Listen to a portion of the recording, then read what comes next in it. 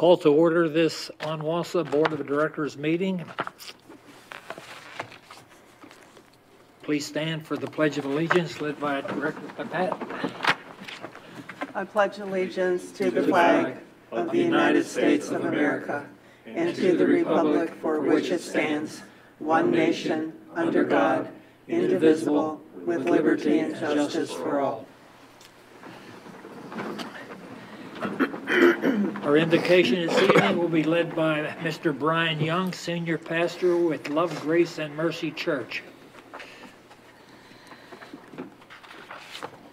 Let us pray to the Lord. Most gracious Heavenly Father, we thank you again for the opportunity to come together.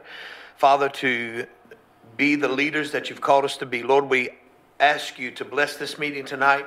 Give us open minds and open hearts as we go through and discuss the business for Onwasa. Thank you for the leadership. Thank you for guiding and directing every decision they make. We ask it in the mighty name of Jesus Christ. Amen. Amen. Amen. Thank you. Please turn your cell phones to off or vibrate, and individuals making presentations or public comments are asked to adjust the microphone as necessary and to speak directly into the mic. This meeting is being recorded on G10. First item of business is to approve of the agenda.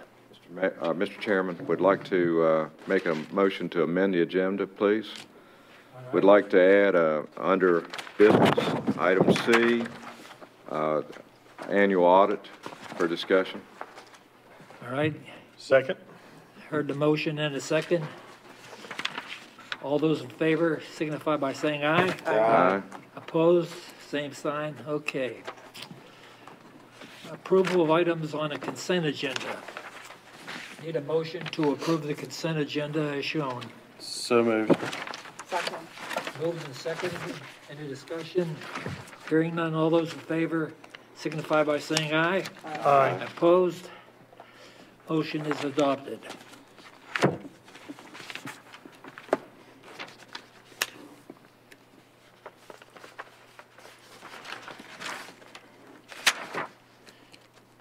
Under business, the sale of timber thinning, presenting Mr. Frankie Howard, CEO. Thank you, Mr. Chairman. Uh, We have a business item for you tonight to discuss the sale of additional timber.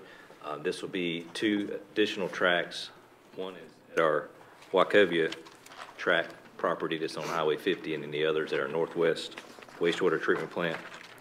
Total, they're roughly 141, 42 acres. This is coming at the recommendation of our timber management consultant. We will take these to bid later in the year. Um, As you can read, one is expected to yield about twenty-five to thirty thousand dollars, and the larger tract potentially fifty thousand dollars. So what we would ask for is your approval to take that out to bid later this year. And there's maps to back that up in the business section of the agenda books, so you can kind of see where those areas have been identified on those two properties.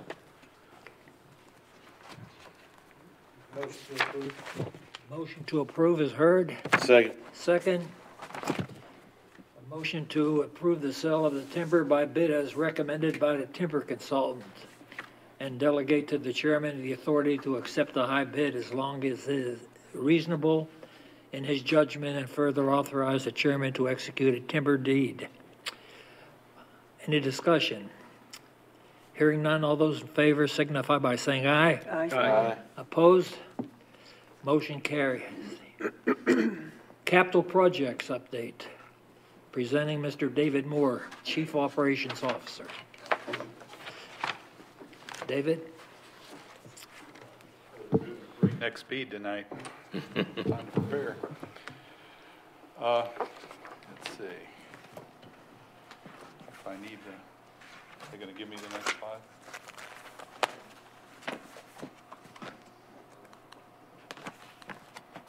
No? There we go. Yay. All right. Chairman Bender, members of the Board of Directors, I'm, I'm here this evening to provide an update on several projects currently underway from our capital improvement program. Um, This will not be a comprehensive review of the CIP, but it's part of an ongoing effort to keep you informed as we work on uh, priority or high-profile projects. Just kind of give you an idea where things stand. See if I push the right button. Nope. Yes. Uh, First slide tonight, uh, in the first project's an update on the Hurricane Florence recovery work at the Northwest wastewater treatment facility.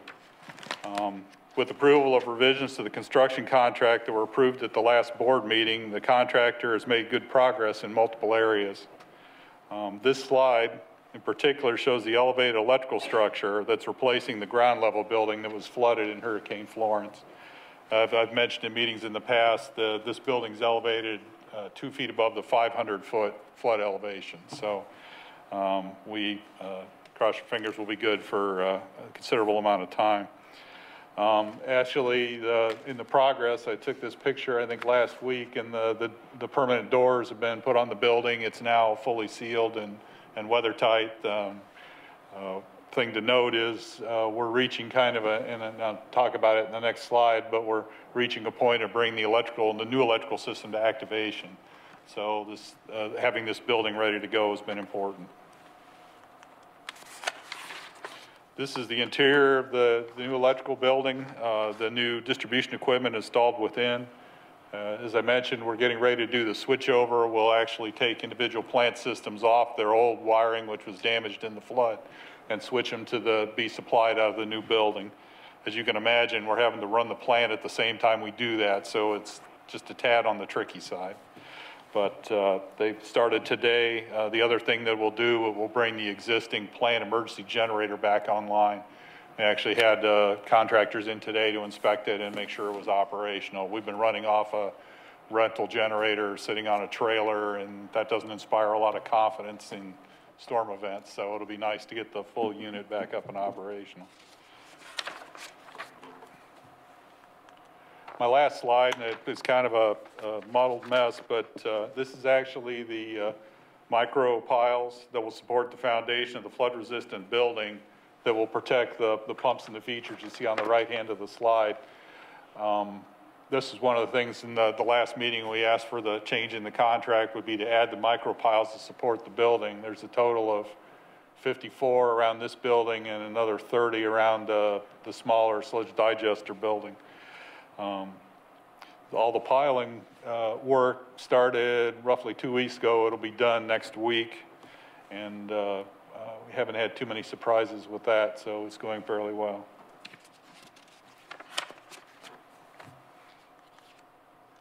Uh, Next project, the uh, Water Chemistry Laboratory, uh, bill- uh, main office building addition. As noted on the slide, the laboratory has been relocated to this building and is fully operational. So the, the lab is, is working out of the new building. Um, It was, uh, I wouldn't say tricky, I mean, it was kind of a couple-stage process, but uh, uh, the final occupancy certificate was received last week, and relocation of administrative staff. There are four offices behind those windows in the middle, and uh, I think one of them's conference, and, and three of them will be set up for personnel. So that move's underway. We had uh, timed some furniture delivery, and that's come in, so we're able to utilize the building to its full extent. To uh, illustrate how far the project has come, this is a photograph of the lab space for March of 2022, the last time I briefed the board on this. And then this is what it looks like today. So that was right just as they moved into it and got set up and started production.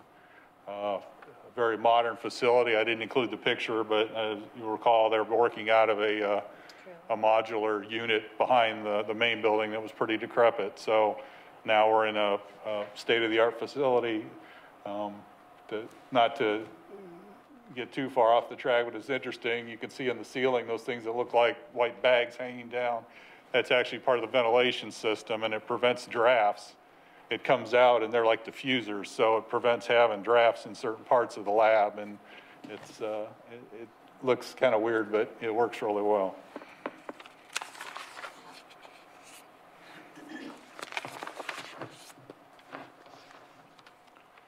The uh, next project is the Parts and Equipment Warehouse, uh, 5,000 square foot facility. Um, Actually, the uh, CFO uh, ramrodded the project all the way through, so kudos to her.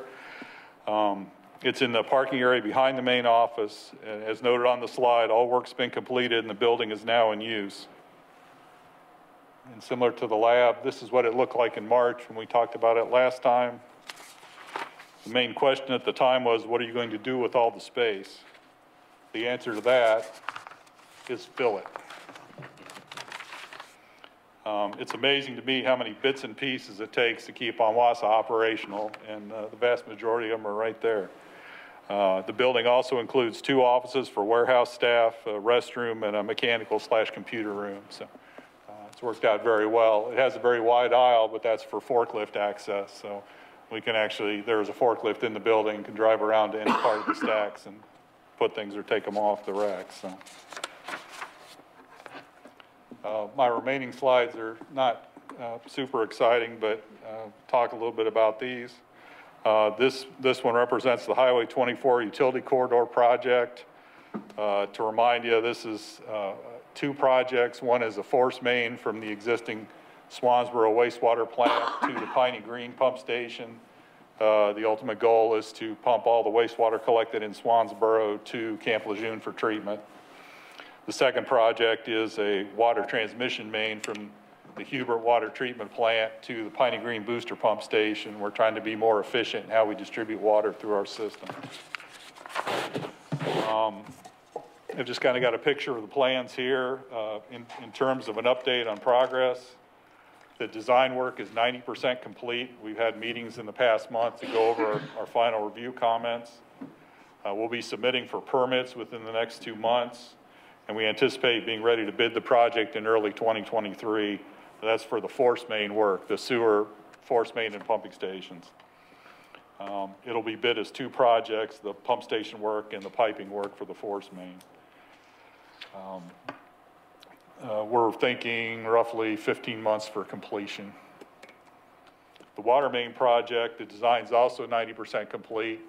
Uh, We have to secure an easement from uh, Marine Corps Base Camp Lejeune to install the water line. Uh, The sewer line doesn't need an easement based on our current agreement with them, so we're kind of running through the process of getting an easement. Um, We've had some correspondence, but right now I don't have a good time frame for when that'll be secured. So the water line project's kind of on hold until we uh, get that agreement in place.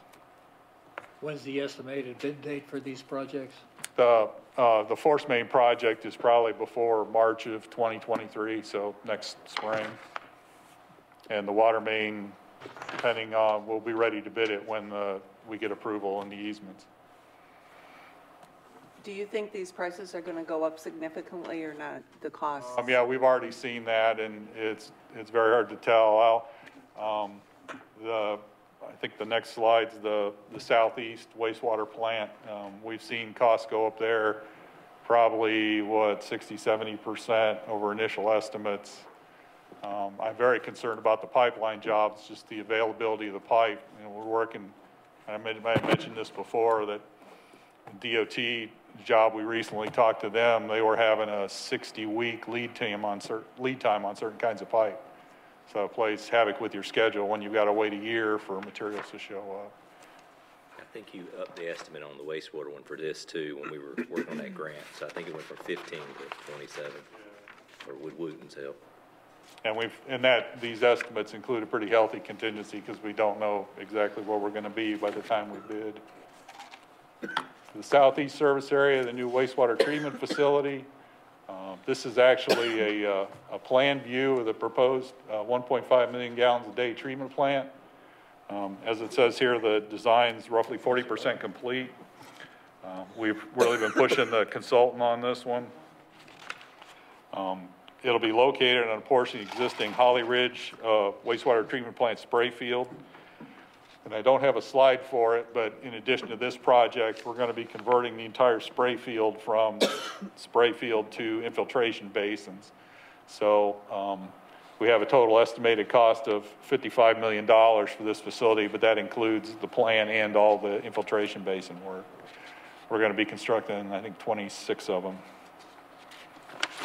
Um, In terms of schedule, uh, the consultant's goal, we, we actually have a uh, pre-permit application meeting with the state right before Christmas. Uh, We hope to be in a position right around January 1st to submit the permit documents for the entire project and start down that review process. The consultant's estimating that'll take about nine months because we are trying to permit an entirely new treatment plant. Um, Bidding for construction would follow that. Uh, I will say, in talking about ways to, uh, to one, to deal with material lead times, and also potentially to get better costs, we're considering doing a bid project just to bid the materials. Uh, The plant is kind of a prefabricated unit, so we're thinking of basically doing the material only to buy the plant ahead of actually the construction contract to assemble it and, and build, build out the site. Uh, We could lock in materials, get approvals, and, and go through the process of getting to fabrication, hopefully with the idea of having the material show up about the time the contractor's ready. So, Location? location, it's, it's right outside of Holly Ridge at their Sprayfield site. It's kind of across the road from the summer house at Everett Bay Development, but back in quite a ways off the road. Um, The Topsail and the booster pumping station, uh, design work is ongoing on that. Uh, We had the soil borings done recently at the site, uh, much to our surprise, and didn't get a lot of warning that they were going to be out there. Um, We have settled on what we believe is the footprint for all the items, um, working with the CEO to get a meeting scheduled with the town and talk about the easements we need for the placement of the building and the uh, installation of the water lines. So, you know, Is there any way we can improve upon this time frame for estimated completion? I'd be happy to help with scheduling meetings because I don't know if you've been to the island recently, but there is a lot of new construction that is just Yeah, we're about tracking complete. that. So if, if we had issues previously, it's, it's only going to be worse this summer. I mean, because they're not building small houses, they're building true. big houses. We, and, and I'll offer, Director, that we actually, uh, and Seth, jump in if I misspeak here, but we actually, uh, tried a little bit of a different operational, Okay. uh, method last summer, and it seemed to definitely help in terms of, uh, pressure calls over the, over the year. Mhm, We did, we'll I try think, over the holidays, some of the holiday weekends we did. Yeah, we tried to, we tried to, to boost pressure coming out of the plant, Okay. so. But no, well, um, we're definitely looking at ways to do that. Uh, I'm a little concerned about the lead time on materials on this project as well. so. Okay. Well, if I can help in any way in just getting parties together, let me know. Very good, thank you. Oop. Where's my slides? Okay. Um, Apparently, my last slide's not going to show itself. Um, And it was just a, a site plan, but I wanted to mention that work is underway on evaluating land owned by Onwasa along Union Chapel Church Road. It's across from the Martin Marietta Quarry. Uh, We purchased 17 acres with the intention of having a, let's see, of, of building a new water plant. It would be the third major water plant for the system. Um, We've hired a firm, they've been out, and we're evaluating the site for its ability to hold the water plant and also design the treatment process. Um, We anticipate having the study done sometime in the spring, and then that'll kind of morph into the design of the actual plant itself. Um, I had some concerns about whether it would be able to fit on the site, whether the site conditions were suitable for that type of construction, so we're kind of going through that vetting process right now. Um, This is tied into two other things which I just want to mention. Uh, We've also entered into a contract with a a hydrogeological firm, and we're looking at uh, what we're calling a raw water master plan. Our goal is within the next 10 years to double our raw water sources from what we have today. Um, Mr. Brown's been very instrumental in getting this off the ground, but uh, we're looking at kind of short-term, what we can do in the next two years, what we can do in the next five, and what we'll do in the next 10 to increase the amount of raw water available to Onwasa. Um, That also dovetails into, we received a grant from the state to do a uh, water system master plan. Uh, We're going to utilize a firm that manages our water model and kind of look at the water system as a whole, the distribution system in particular, and where it would make sense to do improvements to help get water around the county. And if we put the new water plant in, what does that mean for the system? There's been some discussion about potentially additional water tanks, trying to model those and, and see where the best fit is and how it would operate well. So the three of those things are, are kind of moving on their own track, but after the first of the year, I'm going to pull everybody in and kind of get us all talking and, and try to set some direction into the future. We've looked hard at the sewer over the years. We need to spend some time on the water too, so. And that's, uh, kind of what I had for you tonight. So, uh, any other questions, I'd be happy to answer. Questions? Thank you, David. Thank you, sir. Item C, the audit. Frankie, you want to lead us off and tell us where we're at and what problems exist? Yes, um, I can kick us off with this. So we did have it up as a potential item in a few of my updates, uh, to the board this past month. Um, unfortunately, we had to pull it off as a, as an item because they weren't quite ready to, they haven't submitted it yet, so we, we can't present to the board until it's been submitted, so. I did get a question earlier in the week, so I provided you guys with an email on that question and the answers to that, to the entire board, so. I feel like that's pretty much what's triggered us to bring that up here and discuss it as a group, kind of see where we are with the audit. According to staff, and Tiffany can chime in, that they've gotten everything they needed to, to, to finish the audit this year. Unfortunately, they didn't get it done before the October thirty-first official deadline. They are working within the grace period, if you will, um, and claim that it's not late until December, is it first or second? Whatever that date, December first, I think. So, that's where we stand with this current audit. There were some questions about previous dates of submission, so I provided that to the board in the last uh, time that you had to respond to the LGC on, on timely audit submissions. So that's where we are. I think there might be some other questions that I can help answer as far as the audit. I don't have any, but it just, I, I think, I think since the audit team works for us, you know, I think it's been a while since there's, we've changed auditors. And, uh, I know it's recommended that you change every so often. I think I heard five to seven years, I think is, so I'm, I'm feeling like it's time that we put out for bids to see what other audit firms might be interested in, in doing our audit.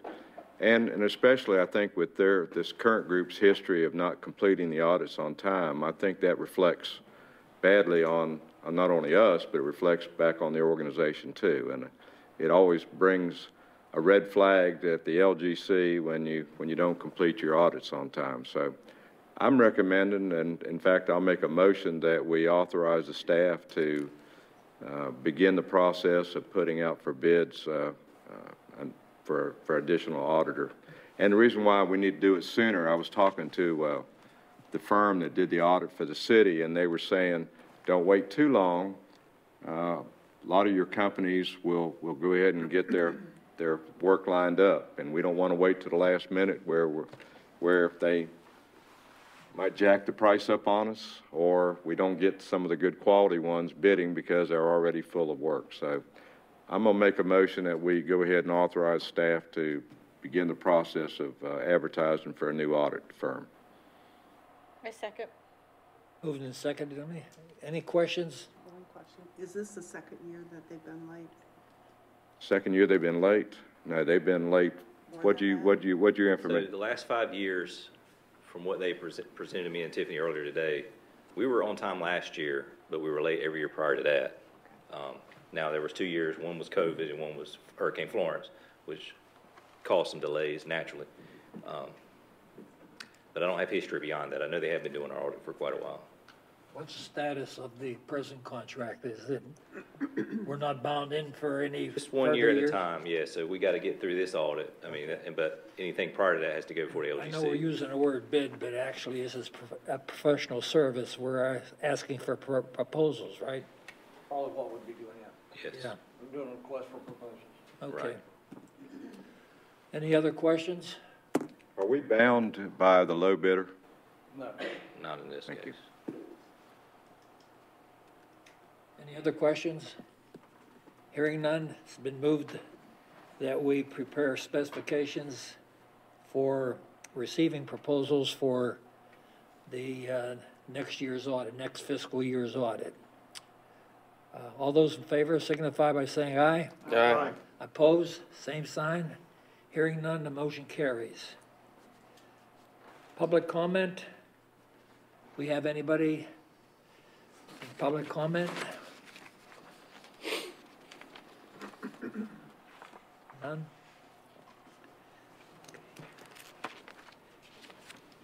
Mr. Howard, your comments? Yes, just a few things, uh, if you don't mind. Um, Just to kind of add to what we've already been talking about. I presented this to you, obviously, I give you guys a weekly update or report from, from our office and staff, but just for the sake of the general public and anyone watching this meeting, um, as you've seen on our latest ops report from staff, we're officially over the 56,000 customer base. Uh, I think we're just a few, a few accounts higher than that um, per the last report, and 7,500 sewer accounts. Um, That's because of the growth that we've been seeing, and I've been reporting to the board. Uh, The last six-month average is about 160 accounts per month, and then for the 12 months total, it's been about 140 accounts per month. So that's, I would say, the average prior to that was south of 100 accounts per month, from what, from what staff are telling me and what, what history says, so. Any specific area where the growth's coming in, or is it just countywide? It, it is countywide if you look at the map, but is, there's no denying the fact that it's the southeast area is seeing the majority, I think, larger projects and, and, um, requests for water and then in some cases sewer as well, so. But it is definitely countywide, so don't, don't get me wrong, there's definitely projects going on everywhere, it seems like, so. So with that, um, we also talk about the, when, and David hit on a little bit earlier with the water, with the water side of the house. uh, Our ORC, Mr. Seth Brown, keeps us on our toes when, when we look at water production every month, and I shared this with the board in the last update. Um, But I think in October, we saw a four point five percent increase year over, month over year. So based on what we're seeing, and you can see kind of how that plays out in a chart with our permitted capacity. I think our peak, or our average was nine point eight million gallons a day for that period of time. So producing a lot of water, we got a lot of demand out there. So fortunately, we've got the grant that we're working on our master plan, and we're working on our third water treatment plant, as David presented earlier. So it's certainly coming at a timely position in our, in our need for water. Just a couple of things. Uh, we had a, uh, this is from staff standpoint, uh, we had a veterans reception for our ONWASA staff. Uh, we have 24 veterans amongst our 131 total staff, and so I, I think that's pretty impressive. I mentioned that to our staff, that's nearly 20% of our staff who are also previous uh, military service. Quite a few of those 20-plus years in the military and then decide to come and work for us, and we feel like that certainly makes us who we are and, and better for that, so we, we appreciate their service. We also installed green light filters at our facilities here on Georgetown Road in honor of veterans and the uh, initiative that the National County Association of County Commissioners uh, supported, the Green Light Initiative for Veterans. I know a lot of county facilities were doing that as well, and city facil- facilities. Just a reminder that Thanksgiving holiday is next week, and our offices will be closed Thursday and Friday. So we're looking forward to that little, little break and hope everybody gets time to be with family and friends.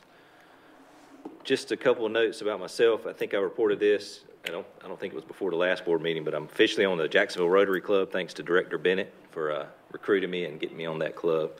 So got one more thing to do on a weekly basis, but I I certainly appreciate it and uh, look forward to, to the camaraderie of that group and serving the community.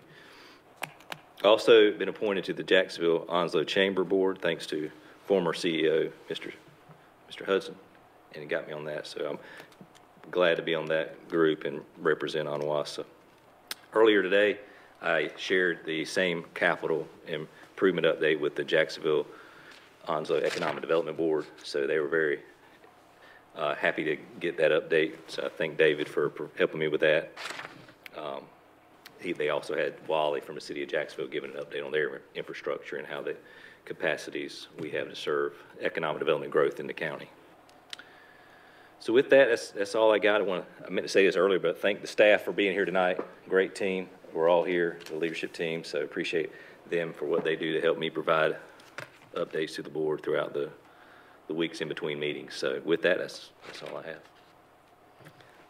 Any, re- any reports? Uh, No, Mr. Chairman, we have no lawsuits, and we're trying to keep them that way. Good. Just for the benefit of the public who may be watching, in terms of receiving the executive officer's comments, we also receive and get the benefit of very extensive memorandums as to the status of ONWASA every week, and uh, I'm not sure it's enjoyable reading, but it's very interesting reading, so compliment the staff and the director for, and the CEO for putting that information in front of us. You're welcome. Comments from the board, start with Bob. Yes, sir. Uh, Thank you, I appreciate it, and um, we have uh, our newly elected Soil and Water Conservation Supervisor, oh, Rob Johnson, here with us tonight.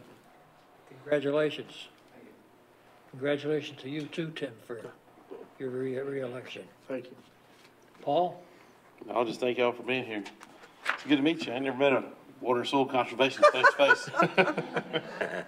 And Johnny, it's good to see you back. Pat? Um, Thank you for having the staff here. I like your reports, especially all the other stuff you do too that isn't ONWASA. But happy Thanksgiving to everyone. Okay. Joanne? Uh, no comment. Jeff? Yeah, um, thank you for highlighting that uh, a lot of the growth is in the southeast area, which is the Holly Ridge and Sneads Ferry area, um, and, and Topsail area too. Uh, And, uh, is her mic on? Okay, good. Uh, but, uh, um, you one of the things that I, uh, uh, on our monthly meetings for the town council, um, uh, Holly Ridge in the past has historically been known as a place to get a speeding ticket. Um, and so I like to highlight the, the ratio between building permits and COs um, versus speeding tickets. So this last month, there were seven speeding tickets issued in Holly Ridge and 24 residential COs. And that's actually pretty normal, about a three to one ratio of residential COs per speeding tickets each month in Holly Ridge. So trying to uh, change that perception a little bit. Um, and also, one of the big projects is the Camp Davis Industrial Park Phase Two. Um, and we're looking to have all the infrastructure completely in place by January first. It's a couple, couple month delay due to some building materials. And so we're expecting people to start, have their shovels ready to begin towards the beginning of next year. Um, the contracts, um, for a majority of the sites have already been signed. And so, um, you know, that's right on the edge of ONWASA's capability and, in, in our area. Um, but it's still very important for us to have that good water and sewer pressure and availability. So, uh, thanking the board for making that a priority and keeping it a priority, so. I'm sure the Board of Education appreciate the efforts of your police department. Hey, Mr. Moore, if you can figure out a way to work in a traffic circle in the North Topsail Beach project down there, Johnny would God. appreciate that on her end of the bridge. Pumping station. We're good. We're good. We'll put the booster right in the middle of it. In the middle of the traffic circle, yeah, nice. I like it. I like it. No further comments? I move, hear a motion to adjourn. Motion to adjourn.